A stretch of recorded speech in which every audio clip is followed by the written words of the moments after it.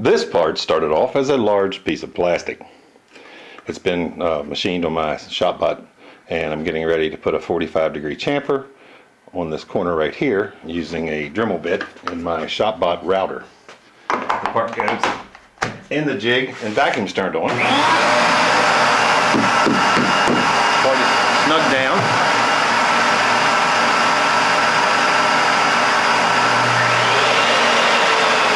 Tool path is started.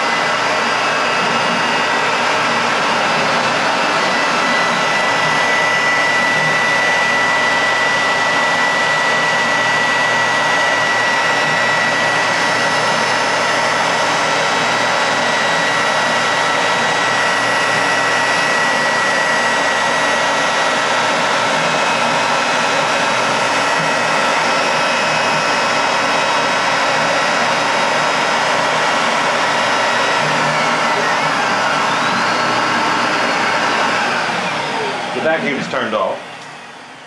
An air pusher removes the part from the jig. And we end up with a nice 45 degree chamfer along this edge.